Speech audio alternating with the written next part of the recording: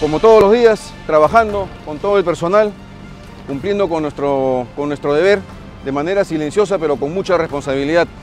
Este es el momento de cumplir con todas las disposiciones que ha dado el señor Presidente de la República. Este es el momento de demostrar que somos una sociedad disciplinada.